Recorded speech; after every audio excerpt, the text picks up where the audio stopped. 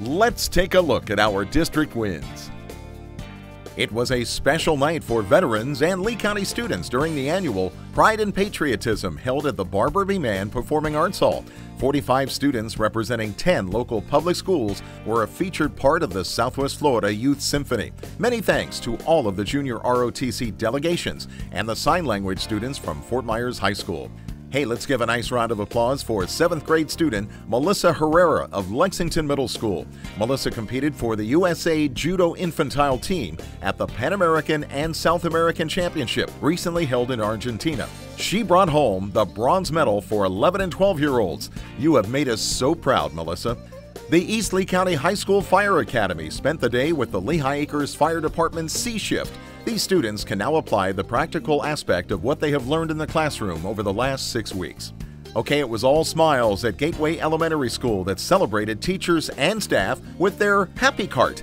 Pictured left to right are school counselor Sherry St. John, along with kindergarten teacher Rosa Ortiz. Once a month, the Happy Cart pays a visit to every employee at Gateway Elementary with all kinds of sweets, treats, and liquid refreshments. Did you know that Fort Myers Middle Academy is home to the Multi County Deaf and Hard of Hearing program?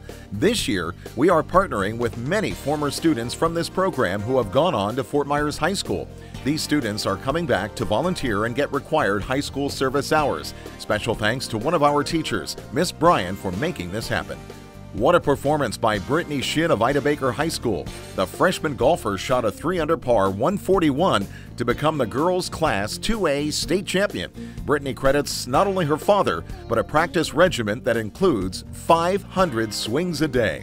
Okay, boys and girls, don't get that all over the walls. Students in Mr. Gentile's class at Alternative Learning Center West worked on an experiment with physical and chemical changes using borax, water, and food coloring to make their very own goo. It was a perfect day for a bicycle rodeo at Caloosa Elementary School with Mr. Mitch of All Children's Hospital. Students were shown how important properly fitted helmets are and learned safe bike maneuvers. Thanks for visiting us, Mr. Mitch. Mmm, something smells good in here. These students at Gulf Middle School have a reason to be excited, as the school now offers a new home ec elective.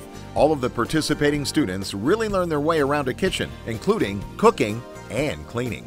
Don't forget, you can subscribe to Lee Schools TV on YouTube to receive the most up to date stories right on your phone or personal computer. Lee Schools TV is available on Comcast Cable Channel 99 and now on CenturyLink Cable Channel 89 or on Twitter. Follow Lee Schools on Twitter and be sure to share your tweets using hashtag LoveLeeSchools.